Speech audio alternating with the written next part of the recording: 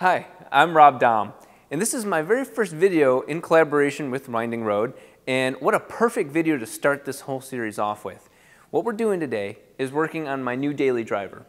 Now, before we get to that, those of you that may not know me, I do run a YouTube channel, uh, and when I'm not crashing Lamborghinis, which everybody loves to assume, which is kind of true because I have had my Lamborghini crash twice, but that's one of the more infamous things I'm known for. Uh, I'm also a very big rotary engine cultist. Absolutely love those engines. So, it's kind of a little bit bio about me, but what we're working on today is my new daily driver, a 2011 Cadillac CTS-V Coupe. This vehicle is under the knife for quite a few reasons. It started out as a stock 2011 CTS-V Coupe, but you can see I'm going to mat out with XPEL Stealth the entire vehicle. Uh, I am leaving the wheels more of the chrome. I think that's a beautiful sort of alloy color. But my dear friend Francis over at Dynamic Illusions is in the process of installing probably the coolest headlights you'll ever see on a Cadillac CTS-V. Reason why is he put a lot of extra effort into my personal set. You will see these um, if you have visited, because we'll have this video probably launch after Autorama, but you'll have seen these at the event at Detroit's Autorama.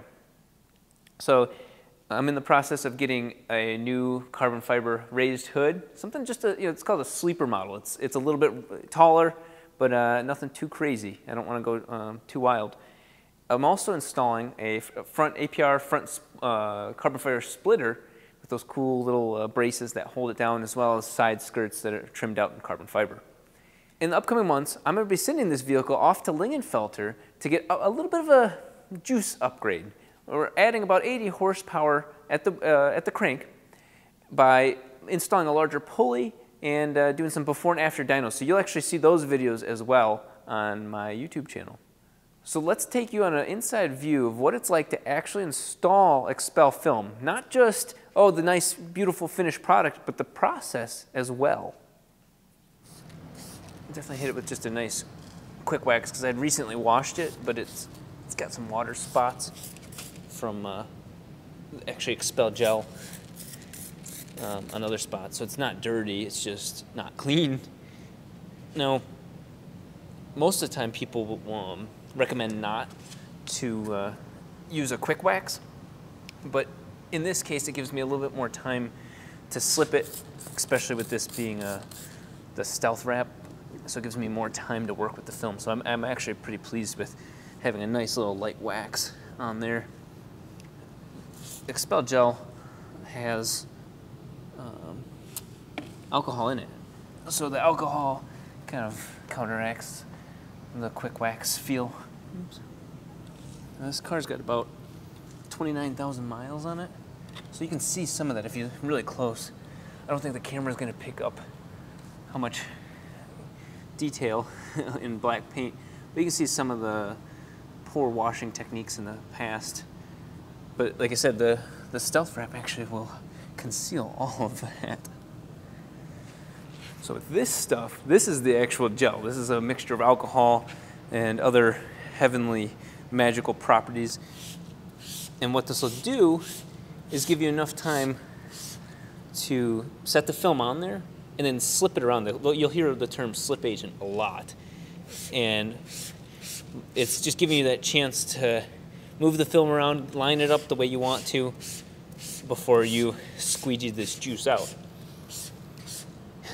You won't see that in uh, a lot of people ask, is you know, is it like vinyl to install this stuff? It's a little bit more complicated. You've got uh, vinyl, which is something you can install dry, XPEL, and any other paint protection film, you install wet.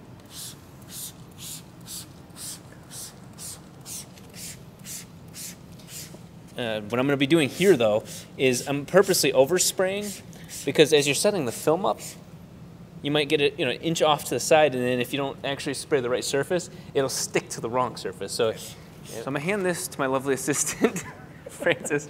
The first thing I'm gonna do in this case is make sure my hands are clean because that's the first thing you'll see is you'll end up seeing fingerprints all over the film if you don't do that right. Okay. So my hands are all wet. That's the only reason I'm touching the film, otherwise it'll leave marks. So what I'll have you do is grab there and then go further down the roll. Okay. Yep. And then grab a second spot. So I'm gonna go ahead and set this on the, the paint. Now, give me just a second before you keep pulling. I'll grab the bottom area here. So you don't want the film to stick on itself. You don't get much opportunity to fix that. but, okay, give me just a second. We're gonna straighten it out in the car. And there we go. So now we got a good start here. Go ahead and start pulling the, you just pulled the, yeah. I'll grab the actual film. So, yep, stop for a second, sorry. Just correct it. So normally some people will spray the film, and that's probably the you know an easier way to do it. But you know, when you got a smaller operation like this, take what you can get. Okay, give me a second. So that sound you don't want to you don't want to hear. it's not doing anything bad. It just doesn't sound as proper.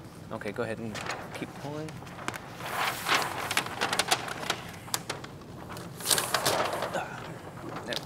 Okay, you just worry about the backing. You you, you go that one. Grab the bottom. There. Okay. So it's gonna look like a complete mess when it's first down there.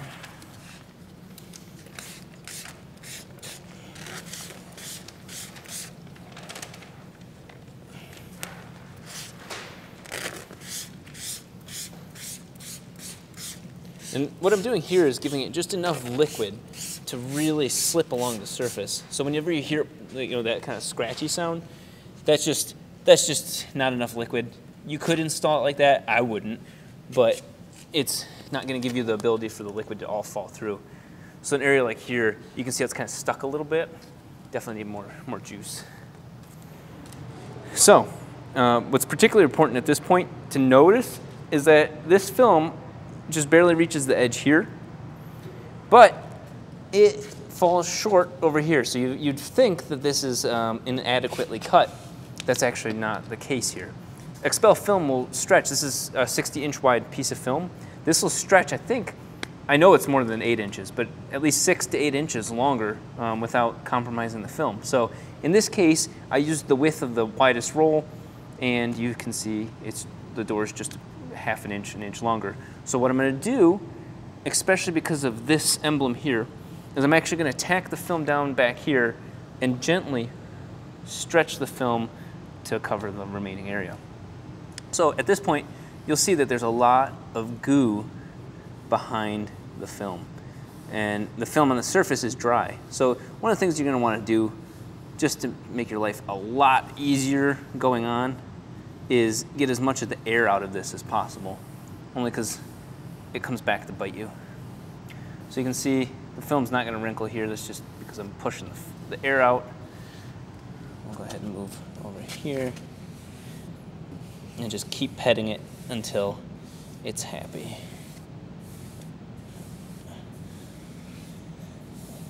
So, if I was to use my squeegee right now it would catch on the on the surface of this and probably cause tears um, or just other unpleasant issues.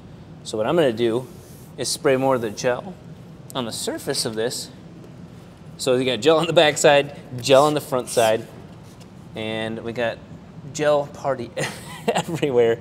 Um, but that lets the squeegee do its work. So what you're to notice is up here, the top edge of the film, I'm to use this to my advantage here because this is matte and you can see how see how it's like a, you know a matte surface, almost a satin sort of surface. It's going to be obvious if it's not lined up. So on this top edge here, I'm going to line it up so that way it rolls just that last little bit over. And this is really, you can see kind of, we waited a little bit while we were getting our cameras ready, but you can you can hear it sticking just a little bit, but that's okay. You, you got a little bit of work uh, room into here. So I have to unfortunately create more air pockets to get this lined up. But you can kind of see I'm getting that top line to where it can fold over just fine.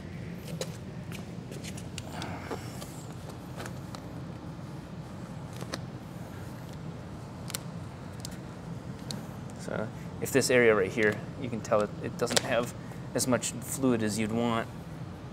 I'll work with that though. So following that top line, just get it kind of tacked into the right spot.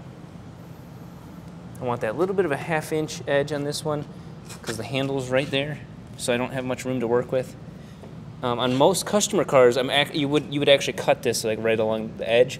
On my car, I'm going to wrap it because uh, I can afford to have it fixed if if it does come back up from grabbing it or whatever else. But if I was to, you know, this stuff's warranted for like 10 years, so I would, you know, cut it on a less aggressive spot. Okay. So let's just get that last last little bit right up there. So what I'm doing is checking. I can still see a little bit of the gloss. If I go too far, it'll actually peel back up because it's touching the plastic on the back. Um, and that looks pretty good right, right about there. So, start, oops, of course, starting from about right there, I'm going to just gently make kind of a starting line. Very gently.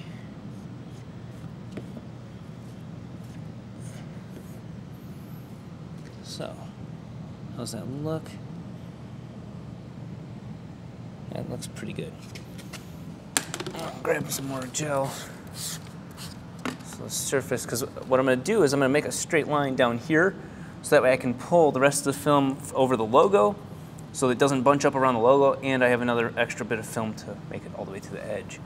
So, keeping this spot in mind, I'm just going to start a nice space to work with now again, the air bubbles I, that were kind of necessary um, are going to come, come back out. There. So let's get that film, pull it out a little bit. Now one of the most common issues you'll have, if, especially beginning film, uh, but in this case I just have this air bubble I want to show you, is lift lines. XPEL, gel, and XPEL film is really good at not having those lift lines. So you see that little bit of air pop, pocket right there. Peel it back up, hit it. Now if you get air under there, like that, I'm just trying to show you some cool examples. If you get air under there, which I didn't squeeze yet, but if you do have air like that, you can peel it back with XPEL, kind of work, work it in just gently and squeegee all the air back out. But you can very quickly see why um, it's important to get air out of this before you start squeegeeing. You do not want that trapped under the film. So let's go ahead, keep moving. So we got a lot of air. Now you can hear my hand kind of getting caught up on the surface because I don't have any goo on there. Okay, so as I was with this line down the side, just bring that line straight down. Very important to make sure you overlap like that. Doing it kind of odd, but just for the camera's sake. But you want it to overlap. Otherwise, if you go too far, you're going to have that sort of problem. So, very important there. Now, this is film. This is not uh, this is not a piece of metal. So you can notice on this line here, a straight line can end up being very curved if you're not careful and a straight line can actually be curved if you are being careful and want it to do some fancy things for you. So in this case, just trying to get it just a little bit more, just so I hit that spot right there. Again, checking how far it rolls over the edge, and things are looking pretty good. So, looking, see that, that light line right there. So with almost any film, you're definitely working off of a leading edge, an edge that you want the film to conform to. Otherwise, if you start working off in the middle, you end up pulling it, and then you've got the weirdest things going on. So this is my this is my true line, and you can see, look at the film's already sagged. That's a good thing because the film is actually, um, you know, I have enough slip agent to let the film move. If I, I guess if I was to let, let this thing sit for an hour or so, it would uh, fall off the car. So something um, I gently did here, but you don't ever want to do with uh, XPEL film, is pull it like that because the film will stretch and you'll get exactly what you asked for. And you, the film will actually um, bend to your will. So you see I'm just kind of gently palming the whole thing, getting that line back up to where it should be. So this is where it becomes more of an, an art than a science. Okay.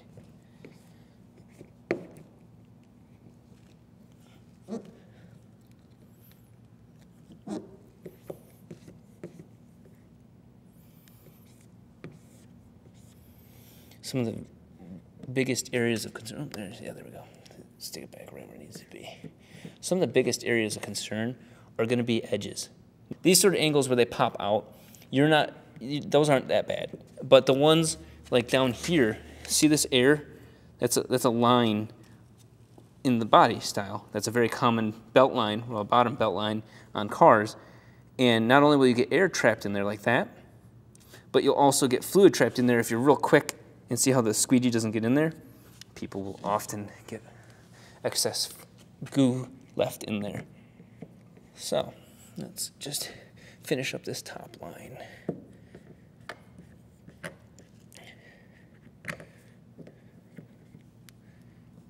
Again, right back there, you can see there's that plastic line of rubber that you, if you push the film too far back, the film will actually hit that rubber and bounce back, so you'll create an air pocket again. So there's a nice, perfect balance here. So just to show you, um, in this case, I kind of went over a, a, spot and created an airline. Small, super small. Now this is, this is more of a tech tip than an actual customer install issue. Really small ones will actually absorb into the adhesive.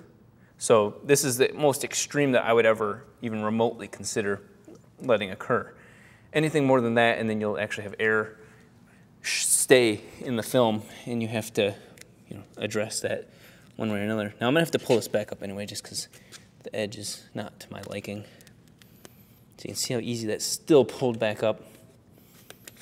I'm gonna get some.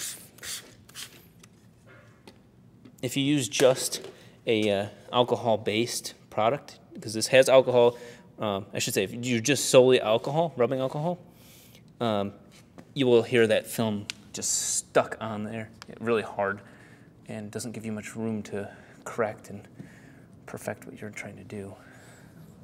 What is really nice is this film, the stealth film, makes it really easy to tell. It gets all distorted when there's um, water under there, whereas clear films are actually a little bit more difficult to tell if there's water underneath it.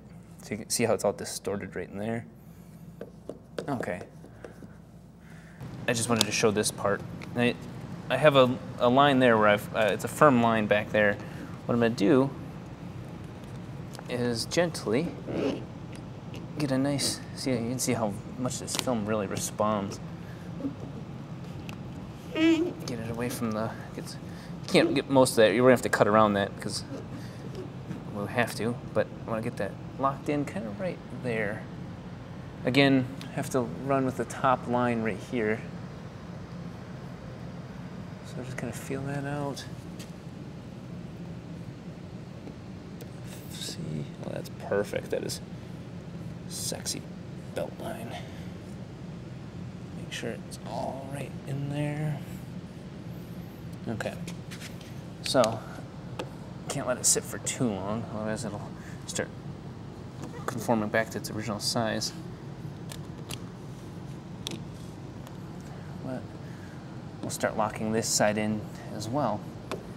You can kind of see, I don't know if you'll catch it with that camera, but you can definitely see some of the moisture on the outside and uh, later on some of the moisture on the inside. What is that?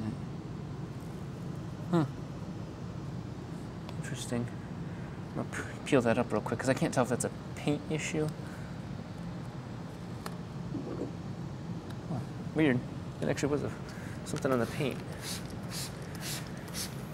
So this is the real side of actually installing this film is, you know, if, if you care about it, you know, people pretend like it goes really quick, but if you actually care, um, you're going to be really focused on making sure you don't have any lift lines, any of that sort of stuff.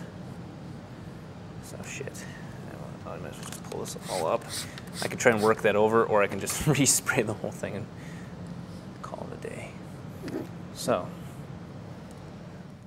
so now we've got the center area is down because you know, the whole film has weight, has mass, so it's pulling it down. We've got that line locked in, that side locked in. So we've got our distance met. Now we'll go ahead and set the rest of this top line.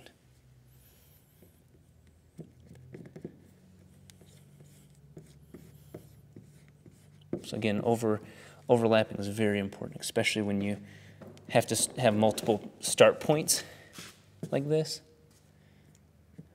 The film does give you a lot of uh, leeway, but you're not always going to want to test that.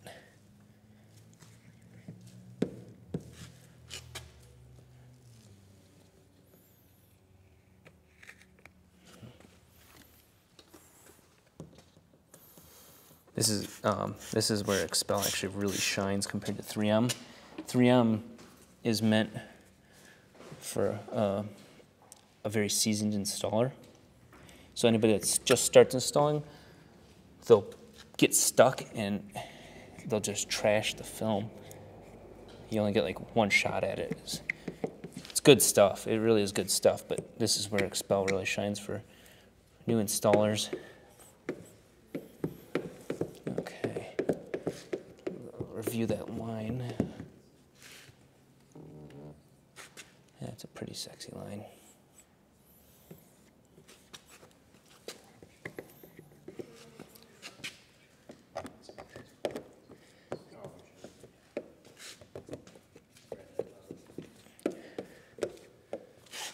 Okay.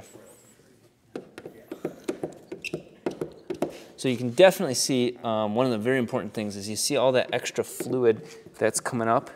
If you don't address that, it'll keep sinking right behind the film and you'll get that whitish area where there's, it'll let air in, oddly enough. So your goal once you start really setting it, especially on edges, is to get as much liquid out from that as possible naturally. This is the best part of the whole thing is you've got the film set, you just want to rip through the rest of this, and that's where you start making some serious mistakes. Let's get that big air bubble at least out of the way back down to this belt line area. The film's a little dry.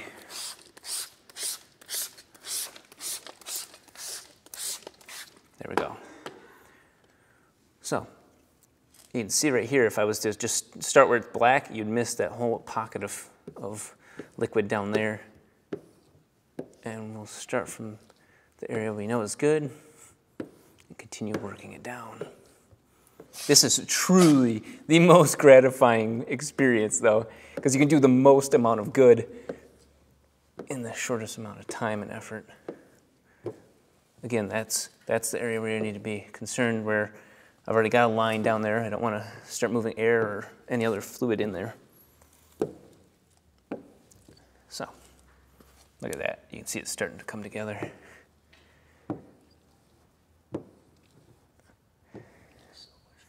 This is, this is really a lot of fun. Yeah, so that's, that's a perfect example of a spot that will absorb into the uh, thing. So that is, that is air, um, but truly that's actually a very minute amount that'll, it's not worth the pulling it back up, it'll all disappear. But here you'll see like that's a that's an imperfection in the paint that the, the paint's chipped because this is a 30,000 mile car and it, that will show through the, the film if it's too extreme. So look at that nasty air. You want to make sure keep that on that side of the squeegee. So then we're going to, this is the area we have to watch out for right here. Take smaller swipes for this reason. There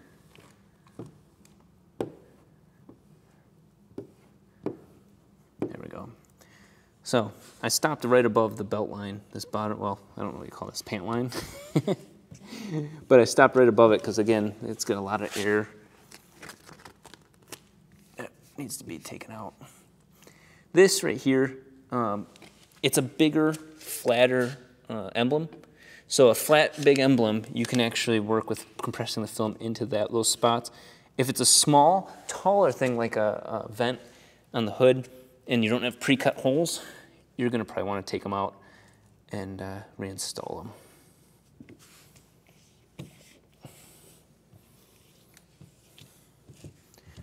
Okay. So you can see I'm going straight down to really get inside there because this way it won't touch at all.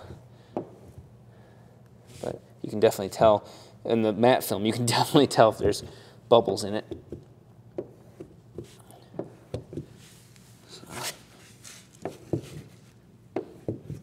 So you see that wrinkling there, that needs to get more fluid out. Until we cut this out, there's gonna be a pocket of fluid down here to be very aware of. So you probably wanna have an area here or um, expect to push it back up once you cut the film.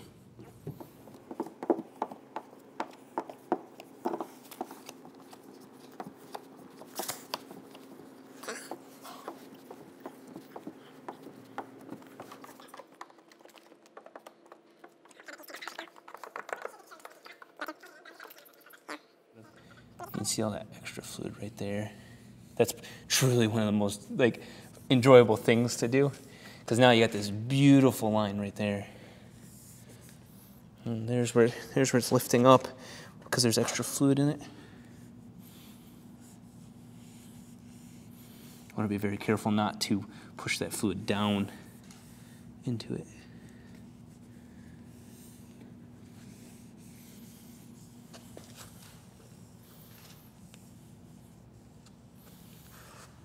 Okay.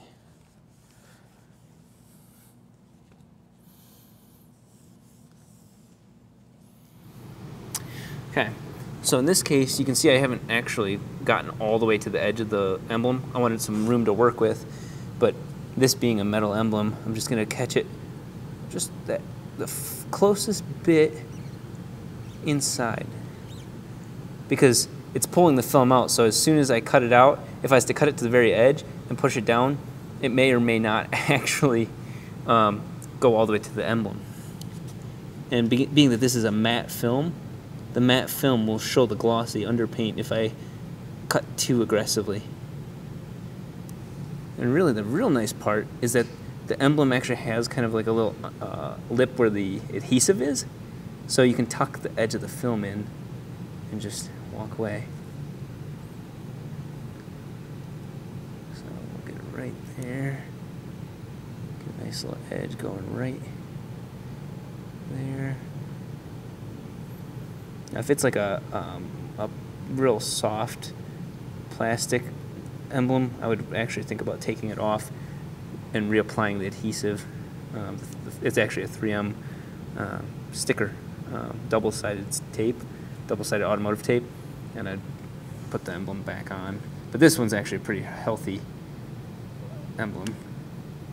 Now I'm just hitting the film just enough to score it. It's hard to tell how much pressure I'm giving, but I'm not hitting it to where it's cutting the emblem, I'm just scoring the film. This is very, very, very, very thick film. So it's got three layers too. It's got the self-healing layer on top and then the polyurethane layer in the middle. So I'm trying to hit those layers. And then lets me peel and break off the last layer. Okay. So I should be able to find the edge and just give it a little tug and it might break loose. Break, yeah. If it breaks away too easy, you know you've uh, cut too deep and you shouldn't be doing this. You see some of it just trying to fall, fall off. There we go. Now in this case, it's because this is the matte finish and it's my own vehicle that I'm being a little bit more aggressive on this. Um, I would I would not be this aggressive with a customer's car. But I have a certain look I want. I want it to go right to that edge. So you can see it's right, it's tucked right in there. Now this is one of the most gratifying parts is you can see the goo coming out and the film's getting tucked in. underneath there. So I'm gonna have to cut this bottom edge, you know, you see, look at that right there, see that extra goo. I'm gonna get a lot of it out. Look at all that goo. So, just like moving the air out of the initial install, getting all the goo out of this install um, leaves a lot less room for error. Otherwise, it's gonna keep peeling up. So, I'm just gonna pull this down just a little bit. So what this little orange thing is, is it's a it's a harder metal, or what this little orange thing is, it's a kind of harder plastic. So it's still something to be careful with. It will cut the film if you go at it the wrong way, but it's perfect for getting a nice edge, tucking film in, and uh, you know, using it in a variety of very useful ways. So this is going to keep coming up until I actually make the full cut down that side, because I've stopped right there. So we'll go ahead. And look at that really coming together. That's as that, as that fluid comes out, you start seeing it really come alive without ever getting close to the paint, and you're not actually touching the emblem either. But some shops will rush, cut hard, hope you never take the uh, paint protection off, and you've got a little presence waiting for you underneath the film.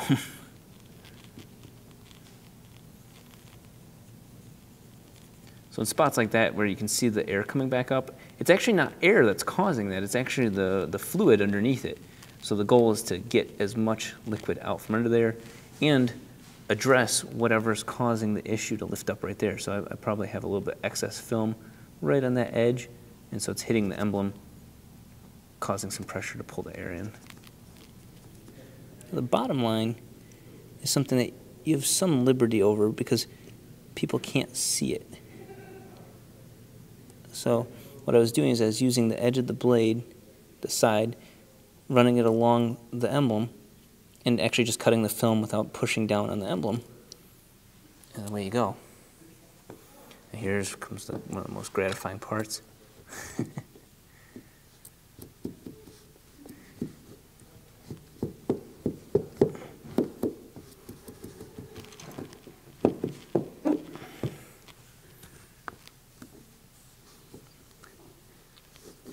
Then we'll spend a lot, about the same amount of time getting those last little details, but you can see it really coming into, coming into its own right there.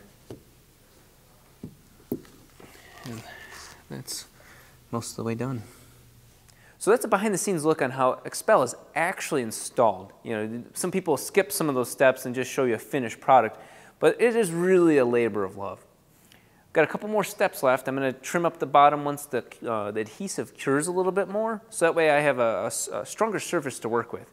So you'll see the rest of the vehicle being covered in the next upcoming videos, and you're definitely going to hear that supercharger whine. So until the next video, I'll see you guys later.